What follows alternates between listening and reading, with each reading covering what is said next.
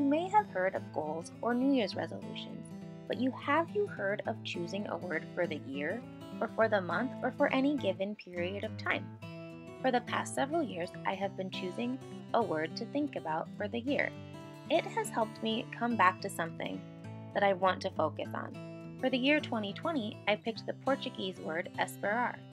It is a mix of the English word hope and the English word for waiting.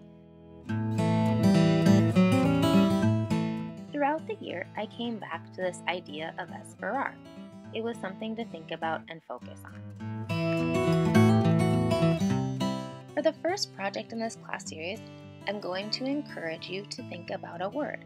It can be a word that you would like to focus on during these art classes or a word that you would like to focus on at home or at school. Some possible word choices could be love, learn, joy, laugh, or even thankful. As you are working on this project, you can think about the meaning of your word and why you chose it. If you want to choose it with the people that you live with, or if you would like to choose it on your own, that is okay. Once you pick a word, you can draw it out on your paper using pencil and color it in with the mediums of your choice. I chose to use watercolor and marker, but you can use anything that you have at home, from pencil to marker to colored pencil or even watercolor. Here are some things to think about. Why did you choose your word? What do you hope to learn or how do you hope to grow?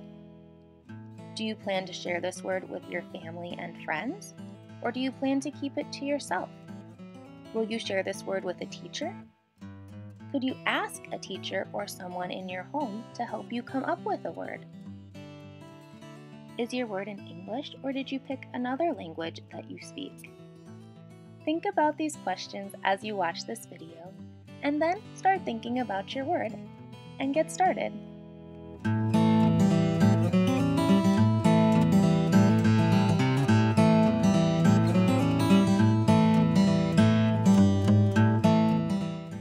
Mine, I chose to balance warm and cool colors. Warm colors are reds, oranges, and yellows, and cool colors are purples, blues, and greens. They are called contrasting colors, or complementary colors, where they make each other really stand out. You can choose to use any color combination you would like. I chose to use complementary colors, but you could also choose monochromatic. Monochromatic means one color, mono meaning one and chroma meaning color. This would mean that you use all reds or all blues, all of one chroma or color. This lesson is just for fun. It's a bit of a warm up and a way to get your creative juices flowing. Enjoy it, have fun, and we will see you in the next class.